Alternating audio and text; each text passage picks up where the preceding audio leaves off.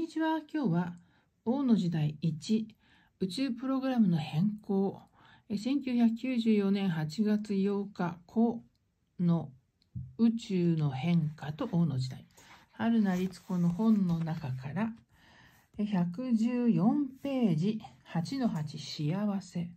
こちらをお話しして解説していきます。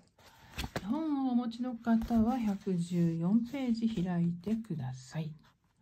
読んでいきます。その脳の幸せ。考えて生きること。情報型のこと。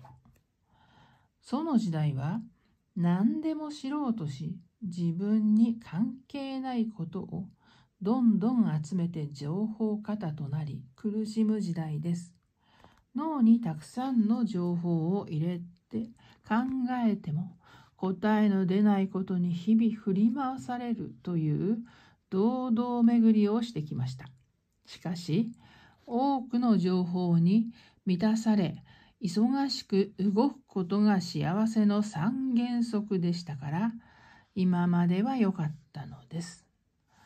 王の心の幸せ、ひらめき、思いを大切にすること。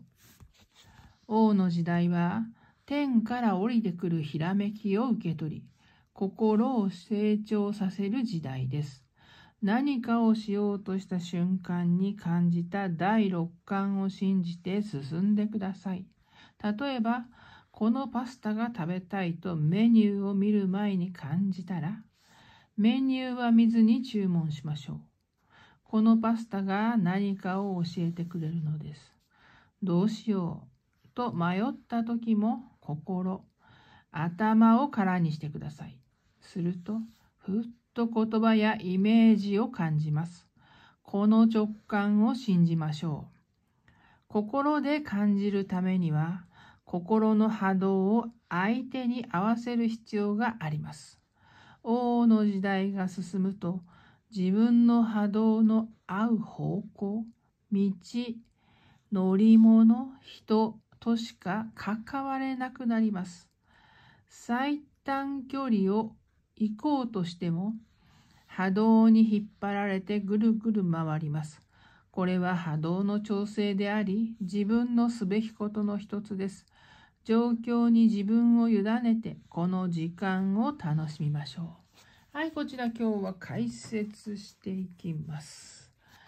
えー、今までいろんな例題を挙げて短編で話してきたんですが、たまには本でも読んで解説しようかなと思いました。で今回のテーマは幸せとは何かというねことのテーマの中で過去はこうだった今はこうだったということを説明しています。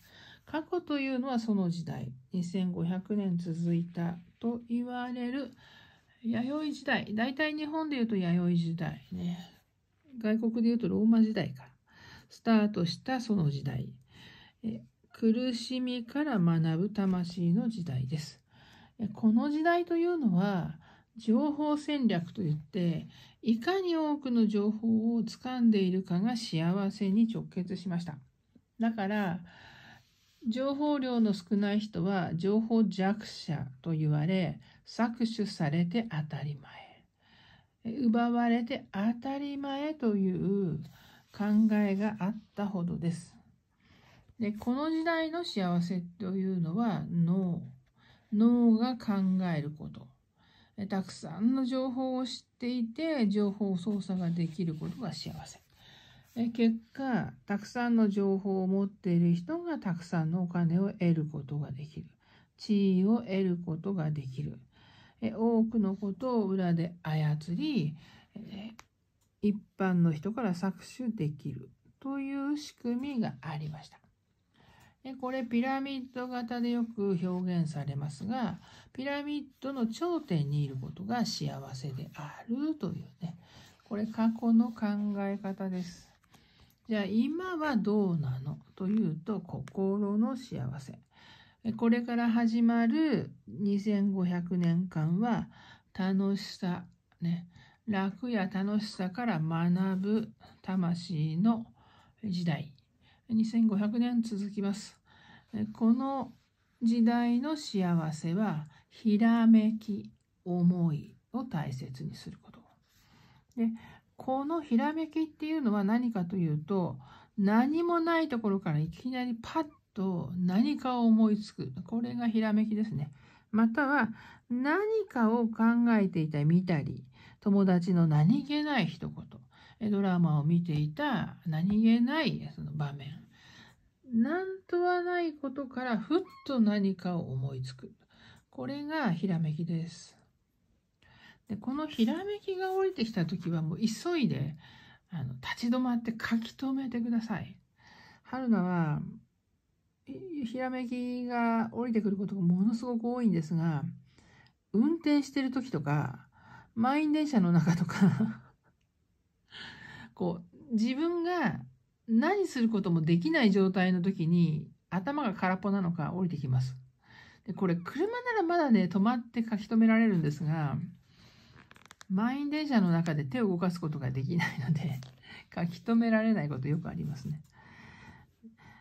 あとは日付が変わった後に降りてくることが多くて寝ようと思っているともう頭の中にバンバン降りてきてもう仕方がなくて起きて文章を作るということもありますね。だから、まあ、ひらめきというのは自分でコントロールできず降りてくるものです。で、このひらめきは、例えばということでパスタの話をしましたが、これはメニューを見ずにっていうのは、ないメニューは注文できませんからね、ここ気をつけてね、ラーメン屋さんに行って、あの、ナポリタンくださいっていう、こういう意味ではないですよ。パスタ屋さんに行ってナポリタンを思いついたからナポリタンくださいっていうことですからね。はい。アサリが食べたいなと思ったんで、あの、モンゴルビアンコを注文するとかいう意味ですからね。ここは違います。はい。で、えー、この自分に合うものというのが降りてきて食べると満足するというね。または食べて満足しなかった時にじゃあこれは王の思考じゃないのかっていうと何かヒントをもらうかもしれませんね。塩が足りないなということを気づけば、この塩が足りない、あなたには塩が足りない熱中症になっちゃうよっていうメッセージかもしれないし、えしょっぱいなって思ったら普段塩分が多いよっていうメッセージかもしれない。何か自分の未来にプラスになることのひらめきが降りてきて将来的に幸せになっていく。心が満たされていく、まあ、一番いいのは食べたものがとっても美味しかった。というのが一番いいですよね。でこれはダメだな。この道に進んじゃダメだなということが起きると必ず後々にあなたにとってあこの道があったのかという何かが降りてきます。例えば宣告から話しているように春菜は小麦のアレルギーこっそり持っていてやはり小麦生活多くなると体調崩します。もう本当に全部崩れますね。肌から腸から。かゆみとか糖尿糖尿病などの値とかも全部に反映してしまうので大好きですが食べられませんどうしたもんかなって考えていたんですね。で小麦を諦めようと思っていた時と食べたい食べたいでも食べられないうーんと思ってた時で結果が違いました。食べたい食べたいうーんの時はただただストレスでこうどこか心の中にこうふつふつと怒りがあったんですがどうしたもんかねしょうがないよねと諦めてこういろんな情報を漁るのをやめたんですね。先ほどの脳の幸せですね、情報型ですね。小麦に対する害とか、あの小麦じゃないものをその代用するものという情報を集めてたんですが、これをやめて諦めたんですね。もういいや。で、諦めた後に豆のパスタをいただいたり、豆腐の米粉パンの動画が表示されて作ってみたら意外と美味しかったという経験をしました。これも自分にとって必要なものがひらめきとして降りてくる。豆のパスタっていいですよね。